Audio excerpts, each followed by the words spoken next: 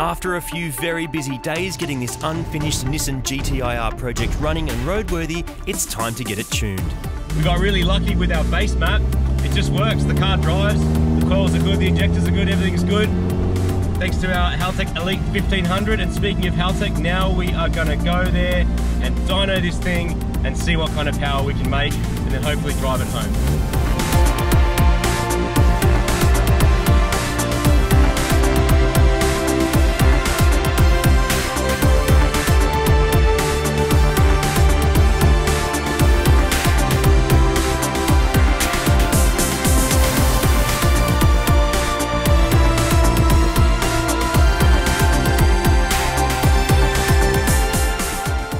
Haltech. This is Scotty, otherwise known as Tuning Fork, absolute tuning legend in my book. Um, Nissan Pulsar GTR, what do you reckon? I really like them. SR20, it's a good thing. It- Yep. It's, it's a, it's been around forever. I'm a bit sort of passionate about Mm. N14. I learned to drive in an aspirated one, like a four door. Oh, really? So it's your era. Yeah, N- N14 Pulsar Triple S that Yeah. that I used to pinch off my brother all the time. Did my L's test in, Yeah. a, in a N14. Yeah. So, what's your experience with these particular engines and sort of power Um, figures we might expect to see?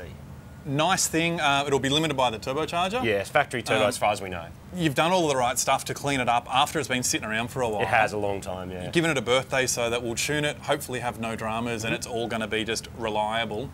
Um, if, if it was uh, 150 to 180, if we Yeah. kind of aim somewhere in there, Yep. uh, the thing will go great. Hopefully, you'll never have to do a clutch or a starter motor on it. Yeah, especially not today. Yeah, you know Uh, what the starter motor is, right? Yeah, I'm not, not even, I, I know about the clutch thing. I don't even want to think about the starter motor thing.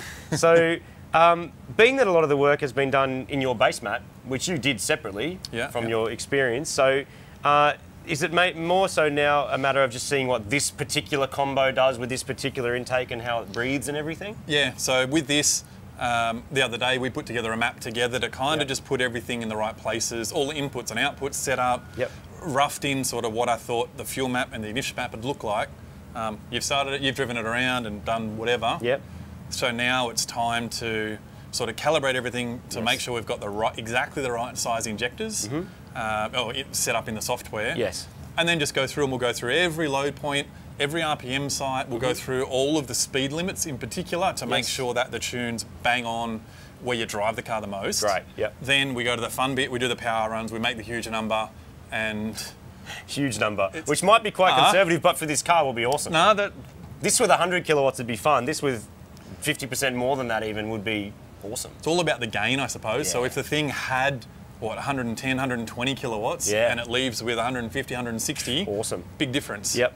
And 20 years ago, if you got that increase, Yeah. you'd be like mind blown, right? Yeah. These days, we just get so so used to these massive numbers. Oh, I've got a GTR with 700 horsepower, and you go, great. But legitimately, like 150 kilowatts in this will be great on the road. And awesome, and it's a really good example of an N14. Like Yeah. very unusual to see one that looks like this now. Yep.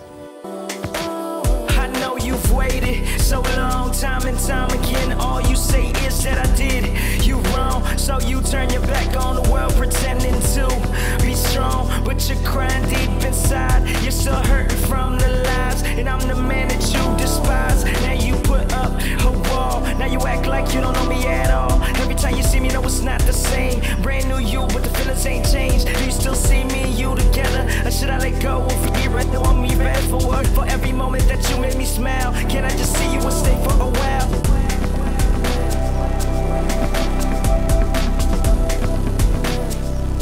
While getting the car warmed up, double checking our wiring configuration, and starting some low load tuning, we noticed some weird smells and some weird liquids coming out of the old Nissan. So, Scotty, we've got some some weird issues like coolant bubbling over, but that may have just been a burp because it hasn't. This car's been sitting for so long, it may not have had a hard enough time. And on the base map, we weren't giving it a hard enough time to kind of burp the, the Yeah. cooling system. I think it's come back to life. So it did overheat, like it did get hot. Yeah. Thing went into engine protection, but then now we can't get it to happen again, and it seems to be sitting on the thermostat. Cool. So thermostat may be stuck just Yes. because, Yep. or it has a massive air pocket that Yeah. we need to bleed through. old Um, car stuff. Probably what's more worrying though is it looks like one of the calipers, either front or back, or potentially both, is dragging, and that's a drag because like we can't have it sitting on the brake the whole time, it's a waste of time. So that might send us home on a tilt tray, possibly. I'm wondering with this. I'm definitely nervous about the brake thing because Yeah. the pedal feels. It's really hard to explain. The booster works. Yep. But you know, you get like the brake feel how you like set up and squeeze. You set it up, you can Yeah. feel where it starts to grab. Yep. It almost feels like it doesn't have a booster. So it's got Yeah. about an inch Like of something, and then whatever you do, you're just stuck Yeah. there. So it, it does feel like a caliper's Brakes sticky have or had something. rotors and pads, but also again sitting for so long. Caliper Yeah, rebuild, yeah, something like is maybe. it a piston? We checked the, we checked the pistons and they looked all right. We moved them in and out, but yeah, look again the age of the car. This is old car stuff, right? So you don't know. Yeah, no. yeah. Our brakes don't seem to be dragging, so we decide just to monitor them and press on. Sure enough, some of the wiring was incorrect thanks to the previous few ECU installs and uninstalls.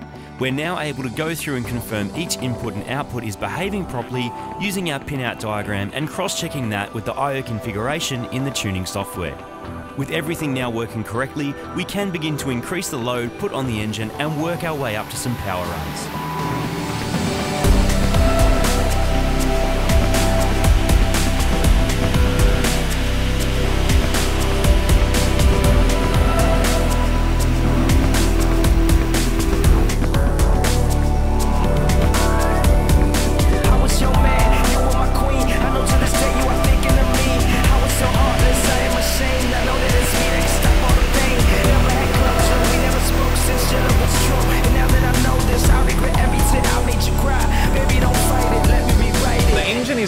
Well, but we're missing all the mid-range. So I just I just want to tinker a little bit and just get sort of just figure out what's actually going on because Sure. the way that torque curve works, Yeah. I'd love to see it come up and then of slip and go, yep, perfect. That's 100%. That's what's going on, and there's no other magic here. Yeah, the power curve looks different to what I'd expect.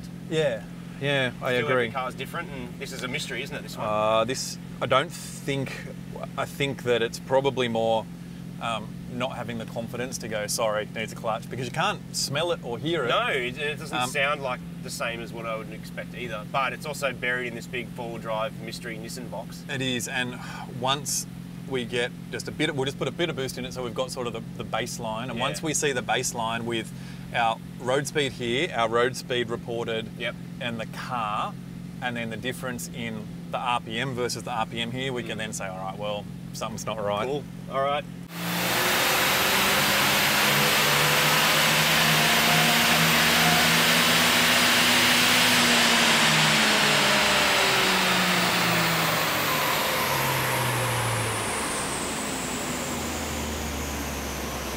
for everyone that's sort of curious for all the numbers, um, this thing's got it's on petrol, Yeah. like 98 octane petrol. Yep. It's got an air to fuel ratio of 11 and a half to one, just about everywhere Yeah. while it's on boost, or I should say above uh, above 130 odd kilowatts. Mm-hmm. Can even go into our actual ignition timing numbers if you like. So as it comes on at about 4,500 RPM, it's got five and a half degrees of timing, up to 11 and a half degrees of timing at the top, which Yep. is is relatively low Yeah, as it is. well. Yeah, it's not aggressive. Um, it's got 16 pounds of boost. Yeah. Well, that would get it there. On an So- engine that's breathing well, 16 pounds would get it there, wouldn't it? It'd be, it's high, but it's in the ballpark. Yeah. So, uh, one of the other things is, what size did you say that, that your, your advertised injector duty cycle? Or your, sorry, your, your injectors 950s. So if we've got 950cc injectors, you know, everyone at home can figure this out. At the very top, where we're claiming that it's making 213 kilowatts at all four wheels, it's using 59.2% injector duty. Sounds about right. So think? it's in the ballpark because something like Cool. a 500 or 550cc injector on petrol Yep. on a four cylinder Yep.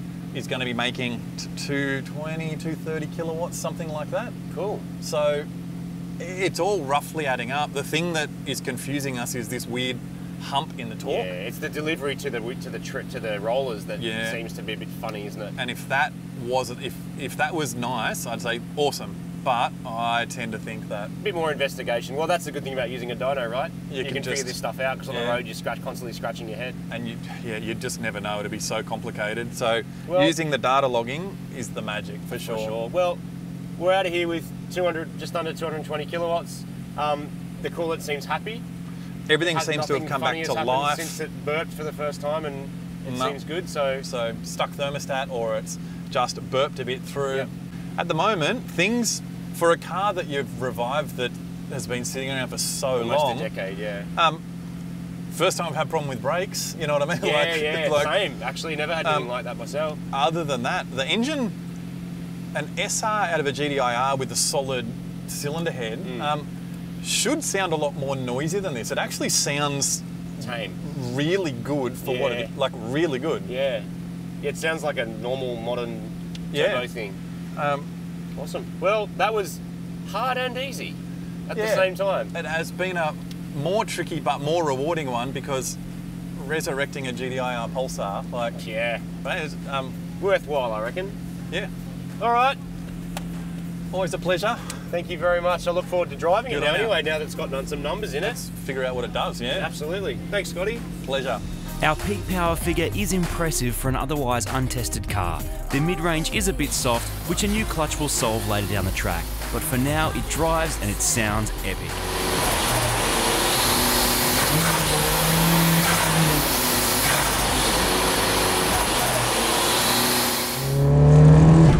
What a mad nugget. Hang on. This is in the way. You can get these from the Mighty Car Mod shop, by the way. Air fresheners. They smell like melons. The best kind of melon melons. smell. Amazing. Amazing. Anyway, Martin, here it is. The car has been saved. Nissan Life. It's good, isn't it? I just, I remember. It feels good. It feels really Feels good. really good.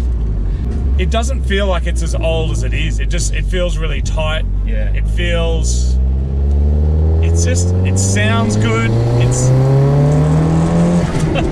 it winds out. Turbo sounds good, exhaust sounds good. It's not too firm, but it's nice and solid. It's not too loud. I don't know what car reviewers say. They can talk about stability and on rails and all this other bullshit, but the fact is, it just it feels good to drive it. It makes you smile, and it's so small. You're in this compact little nuggety Yep. Nissan soy sauce, sauce smelling, Soy sweaty sauce. thing. It's just awesome. It's so good. I love the dose. The So intake. good. I'm really, really happy with how that intake turned out. It like it's great, neat. There's room for the battery that's in there, and like it sounds awesome. I You think. did an awesome job, man, on all your like fabrication stuff.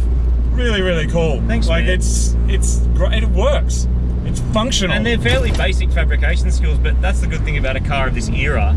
It's like you don't need to have this massive knowledge. Like if you just you can weld some stuff, you can cut some metal up, and you can make some bends. Like that that solves the dump pipe and the intake, which honestly is a lot of the time what needs fixing on these. If you change a turbo, you got to change a dump pipe or change an intake, and you free up a bit of horsepower because we got rid of that airflow meter and we fixed the temperature sensor. We accidentally put on the wrong side of the intercooler, so you might have noticed on the dyno it went to the right side. Now we've got two. Yes. Um, so we can measure the, um, the the difference in temperature across the intercooler, which is a bonus because we've got heaps of spare inputs on that ECU, which is which is mad. Yeah. And it's worth saying also, like this car, when we got it, not like nothing worked properly. Like it would barely start and turn over. Like there was stuff missing. It was neglected. And you know what though? That's not kind of that's not obscure for cars from this era because a lot of people are just leaving them now. Like they just don't care about them. But Yeah. they are, as I said like a couple of videos ago, like for a lot of people, including me and you, this era, this is like this is like the cream of JDM, I reckon. Like this is just like, and I don't mean the cream is in it's the best quality car. It's just the stuff that I think is the most exciting. Well, you there's know, a lot like of cool stuff coming out in this era, and manufacturers are really putting some effort in. And they're trying to win, win rallies, and they're trying to win drifting, and trying to win all these different kind of racing. And there was like a lot of interesting things coming out, and this was definitely one of them. Yeah. Even though it's a bit of a parts bin car, we've since you know worked out. Yeah, yeah. It has S50, S, you know, 13 bits and Bluebird bits and whatever else. Yeah, So- even the little thing that you open the boot with is just like straight out of an S13. You know, Yeah. like it's just you can see that they've just taken stuff from wherever they could. whatever they can find. A lot of people ask us, like, when you finish working on cars, like, what do we actually do with them? Do we keep them? Do we store them? Do we part them out? And sometimes it's actually all of the above, depending on what it is. But with this car here, something that we were so excited by, we thought that we would kind of take the approach of an ethical fisherman and do a do a catch and release. You know, you catch the fish, you go there it is, um, give it a little kiss, do what you need to do, and then send it back out. And that is exactly what's happening with this car. We feel like we've saved it. We feel like our job is done, but you know the parking that we have is also full with some stuff that you're going to see in the next couple of videos. True. Um, and so this is actually going to a good friend of ours uh, who's had dibs on it, and so it's going to pass on to him. And then the question is though, what happens there? I mean, how much better is this car if you spend another twenty thousand dollars on it and put another two hundred kilowatts? Like, Yeah, I mean, how much better is it? Look, that'd that'd be awesome, but you know the gearboxes, as many of you know, are pretty weak in these cars, especially when you start turning the wick up. Um, so if you put a lot more power through it, very very high chance of blowing that up. Um, you've also got SR20. If it's an unopened stock one, then they are limited at you know sort of 300 horsepower or a bit more, depending on your other mods. So um, yeah, is it worth spending huge money on and making it the next big monster? Probably not.